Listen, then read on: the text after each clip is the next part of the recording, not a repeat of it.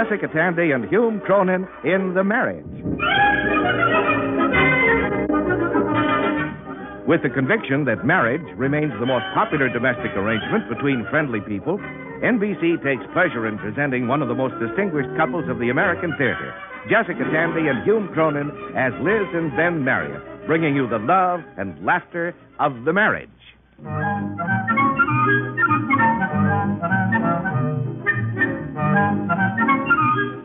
Change is a very important thing in marriage.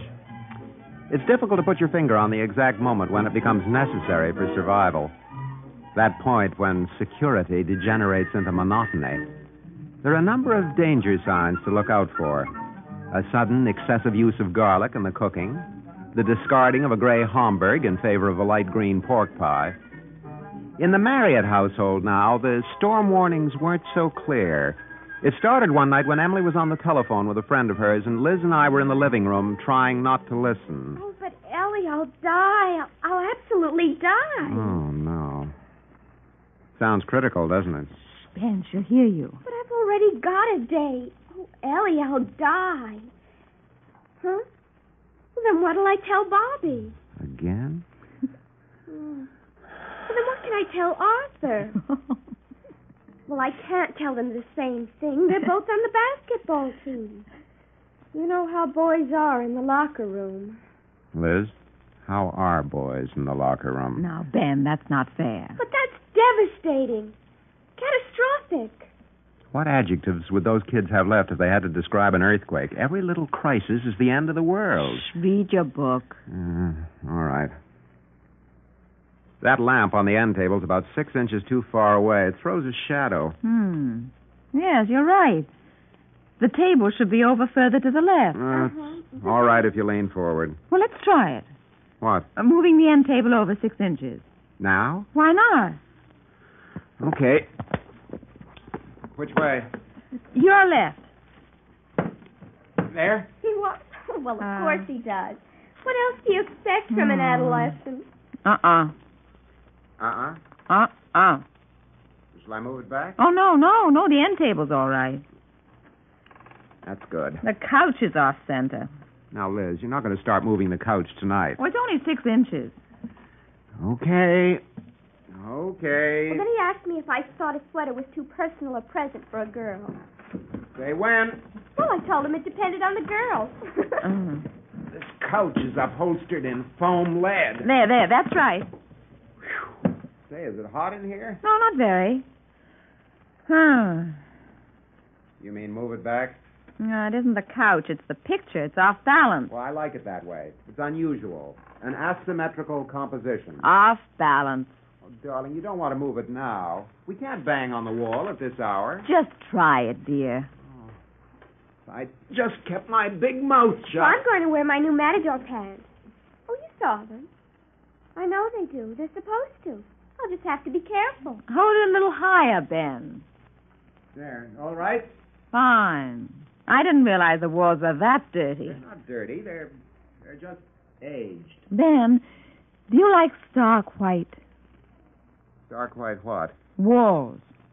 Well, I've never given them much thought. Bye now.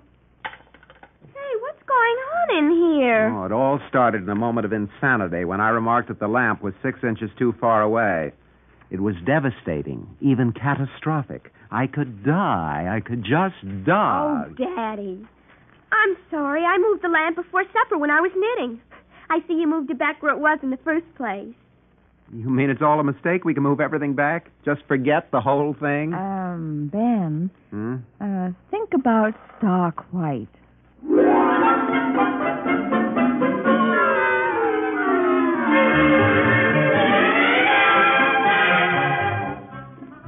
I thought about stark white all the next day, and by evening, when I arrived home, I was slightly snowblind. Outside the apartment door, I caught a strange aroma. Wasn't anything cooking, but it was vaguely familiar. It's turpentine, dear. I was thinning the paint. What paint? The white, it wasn't stark enough. What is that you're wearing? A pup tent? Coveralls. It's the feeling that's the hard part. You're not painting the ceiling. Uh huh. It's easy. You use a roller. Liz, this is crazy. For one thing, the landlord's supposed to paint. It's in the sanitary code. I'm not going to wait for you to sue him and carry the case up to the Supreme Court. But it's a matter of principle. You know, this is a fight to the finish. All right, I surrender. I want the walls clean. Now, Ben, I've got to get Pete off to bed early. They're bringing the machine at 6.30. What machine? The floor scraper. But I don't know anything about floor scraping. Oh, that's all right, dear. I do. Oh, well, then I suppose it's a good idea. And Ben, uh, don't worry about helping with the painting. I don't want to upset you at all. Thank you, dear. I know you're busy all day, so I won't bother you. Thank you, dear. Besides, the, the rubber base paint looks awful unless you know what you're doing.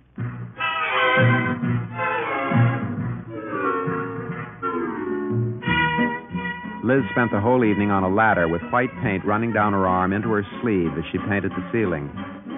I tried to be helpful, handing her brushes and rags, but she sent me into the kitchen about nine o'clock to think about charcoal gray for the bathroom. I considered charcoal gray seriously until 10:30, and then I went to bed. I could tell when Liz finally turned in at midnight because of the delicate scent of turpentine that she wafted in with her. The next day, I called her from the office at about three in the afternoon. Ben, if you've got a few minutes this afternoon, think about apple green for the bedroom. Yes, dear, I'll put one of the law clerks onto it. I pulled the fixtures off the wall in the dinette. How did it happen? Were you hurt? No, no, I did it on purpose. I'm putting in indirect lighting. Oh. Look, Liz, uh, I've got a brief to get out tonight. Your desk is in Pete's room. It is? Well, I guess I better stay down here tonight. Don't come home before midnight. Midnight? Why not? I varnished the floor inside the front door.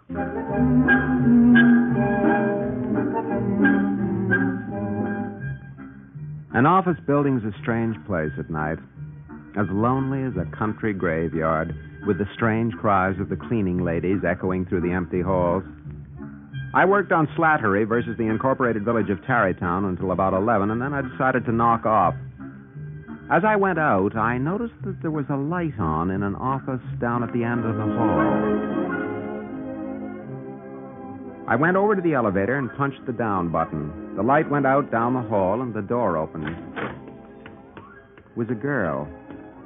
Young girl, sort of small, with a scotch plaid coat pulled in tight at the waist. I glanced sideways at her and then studied the elevator indicator over the door. It stayed glued to the B at the bottom of the dial. We just stood and waited for a while. You don't get irritated when you wait, do you? I beg your pardon? I get absolutely furious when I have to wait for an elevator, as if it were staying down purposely because it's me. You don't. I was watching you. Oh, no, I suppose I don't. Charlie's probably mopping up one of the floors. I never would have thought of that. You're in the law firm down the hall, aren't you? Yes, yes, yes, I am. Can a landlord evict a tenant for sharing the apartment with a girlfriend? Well, uh, what kind of tenant? Me. I'd have to see the lease. Here comes the elevator. Oh, it's because you're here. If it was only me, it wouldn't come for ages. Something personal between you and Charlie? no, no, it's the elevator. It's easier waiting with someone. Go ahead. Thank you. You saved me hours.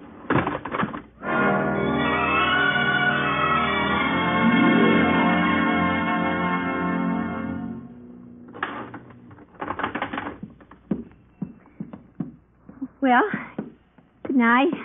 Good night.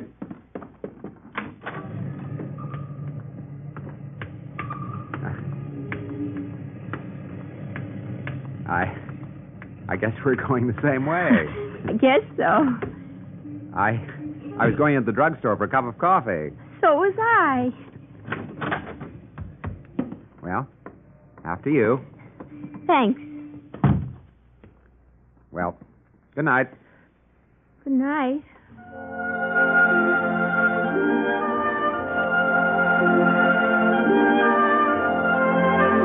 I climbed up on a stool at one end of the counter, and she perched at the other end. I fiddled with a napkin and looked through the papers I was carrying, trying not to stare at her. She was a striking girl. Her hair was very long and sort of rippled down her back. She smiled at me, and I turned away as if I'd been caught stealing the jam pot. Well, what'll it be, Chief?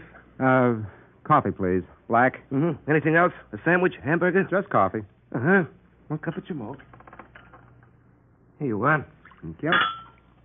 Uh, pretty girl, huh? Hmm. Oh, I suppose so. Yeah, she has a fresh white-eyed beauty. Yeah, I guess she has. You come in together, didn't you? Yeah. Yeah, we did. What does that mean? Well, there she is at that end, and here you are way down here. Well, what's wrong with the arrangement? Look, leaning on a counter all night, you get to learn about life, you know. You get to know people, the little people. I've had this situation before. What situation? Well, you know, late at night, boy and a girl come in, afraid of tearing her eye. They sit down. now, see? wait a minute. You've got this all wrong. Yeah, but they're worlds I- apart. See, they've quarreled. Look, I don't know the girl. I hardly speak to her. You should be ashamed. She wouldn't discard you that way like an old shoe. If it's okay with you, all I want is a cup of coffee.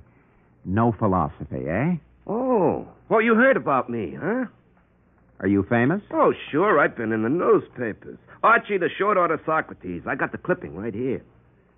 Well, that's very interesting. Hey, you want to read what Walter Intro wrote about me? Uh, not particularly.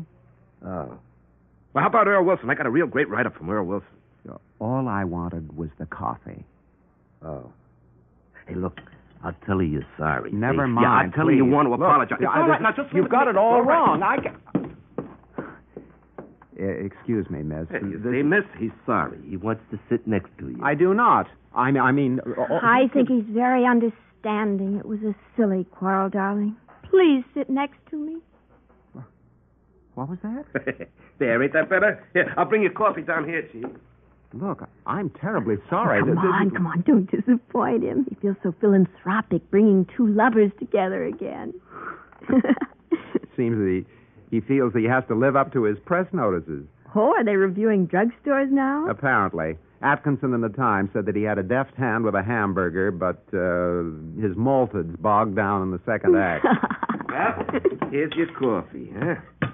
Say, do you mind if I mention this little vignette to Ed Sullivan if he comes in?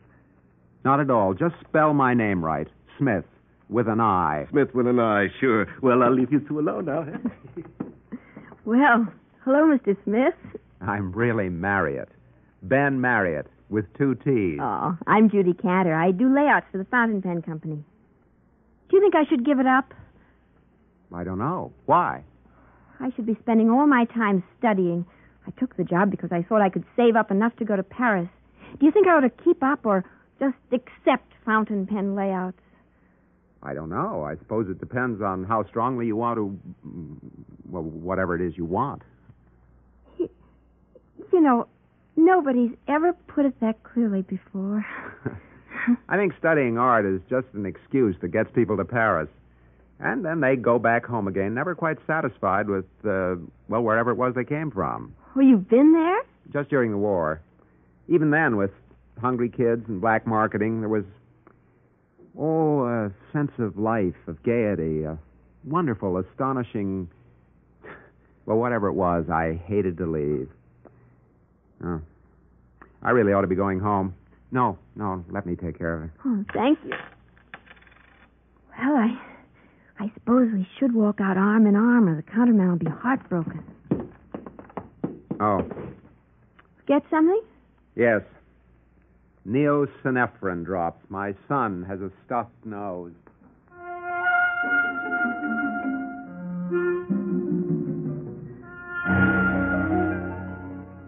I came up for air on the subway going home. There was a strange, disturbing quality about that girl. She looked straight in your eye with a look of absorbed interest. Of course, she might have been nearsighted and too vain to wear her glasses, but that didn't occur to me at the time. I started to tell Liz about the short order Socrates, but I didn't get very far. Did you think about apple green? I only had a few minutes during supper, darling, but I thought about it very hard. I don't like it. I think elephant gray. Liz, a funny thing happened to me tonight. I ran into a girl waiting for the elevator.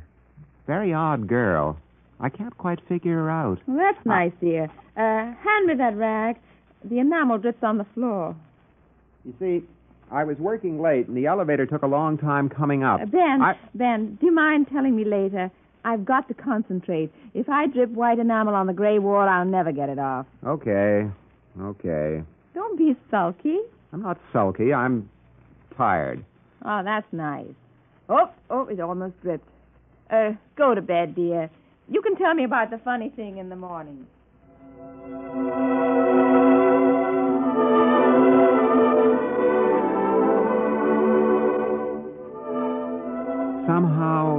Didn't seem so funny in the morning.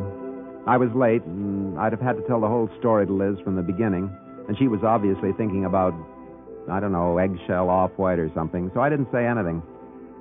Slattery versus the incorporated village of Tarrytown turned out to be more work than I expected, and I had to work late at the office for the rest of the week. Wednesday and Thursday nights, I ran into Judy Cantor at the elevator. We stopped at the drugstore each night for coffee. Friday night, I finished work early, but I just sat around for a while thinking. I suppose it was the sound of the elevator coming up that brought me out of it.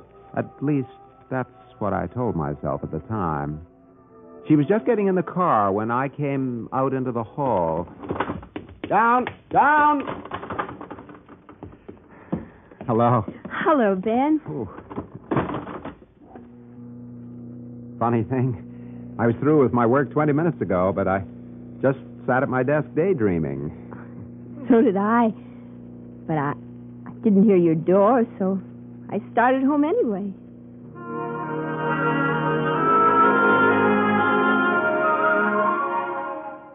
We didn't want coffee that night, so we walked across the little park triangle to the subway. It was a lovely, clear night.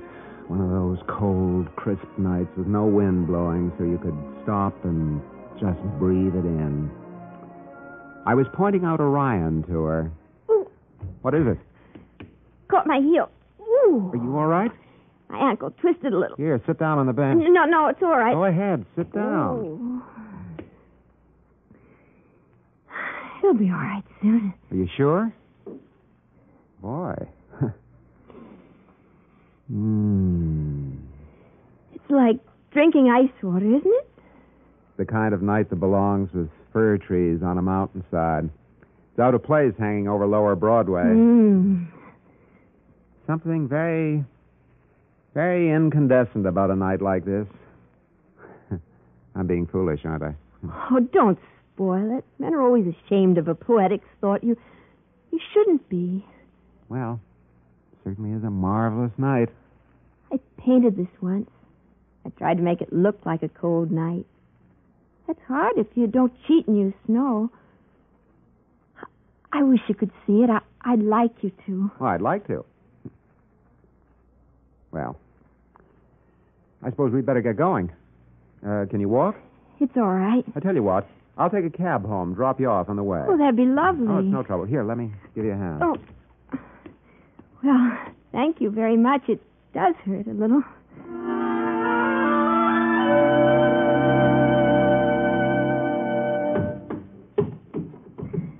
I think it's very nice of you to come up.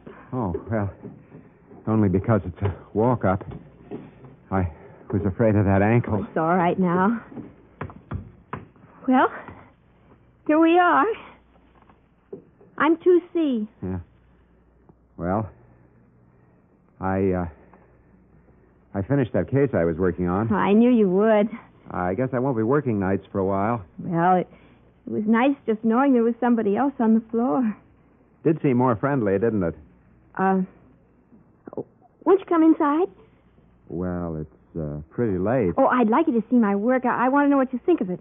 I, I shouldn't, Judy. Oh, it's all right, really. Judy? Hey! Oh, my roommate's here. Hey, Sherry, are you dressed? We've got company. For crying out loud, wait till I... Okay. Come on. Uh, this is my roommate, Sherry. Hiya. Come on in. How'd you do?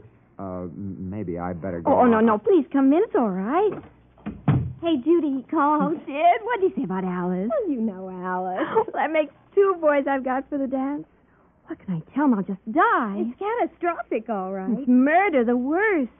Uh, maybe I better be going on. It's a little late, you know. Oh, that's all right. The boys are always staying late.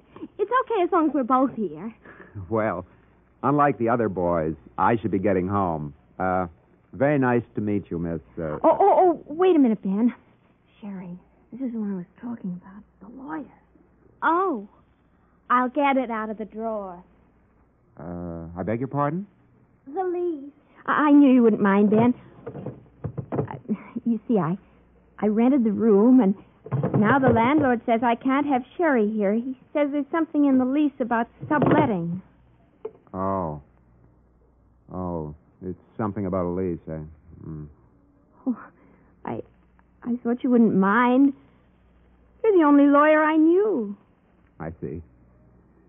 Well, sure, I'll look over the lease. Here it is. Ben, I just don't understand these things. If I can't have Sherry here, I won't be able to make the ready. It's devastating. I'll just die. I'll absolutely die.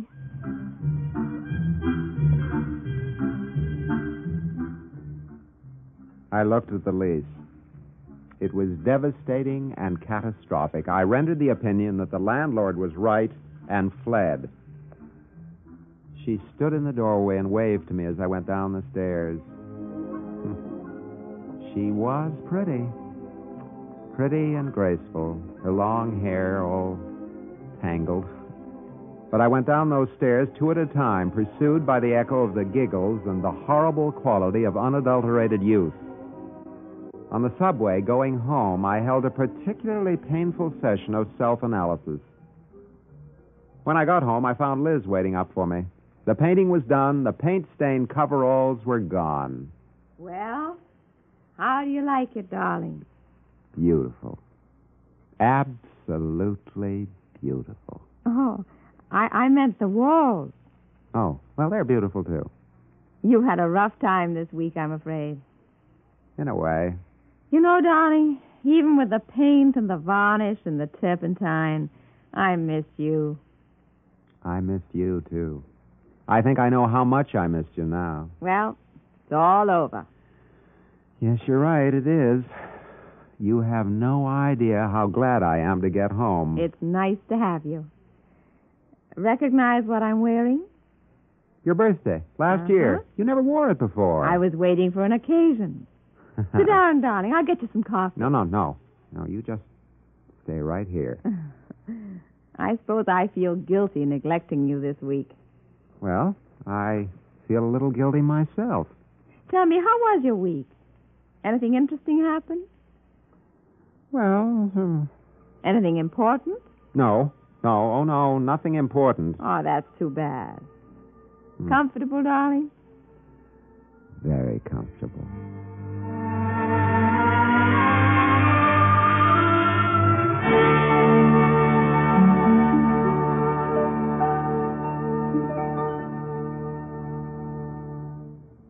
Ben and Liz Marriott will be back in a moment. In the meantime, let us extend an invitation on behalf of our stars, Jessica Tandy and Hume Cronyn, as well as the National Broadcasting Company, to all of you to drop by next week at this time for another half hour observation and transcription of The Marriage, written by Ernest Kinoy. Denise Alexander played Emily, Ann Sargent was heard as Judy, Larry Haines as Archie, and Charita Bauer as Sherry. The Marriage is an NBC Radio Network production directed by Edward King. This is Bob Denton speaking. You know, the bureau is about six inches too far to the right. Is it now? I know just what to do, darling. You do? Yeah? I'll saw it off. Good night, Liz. Good night, darling.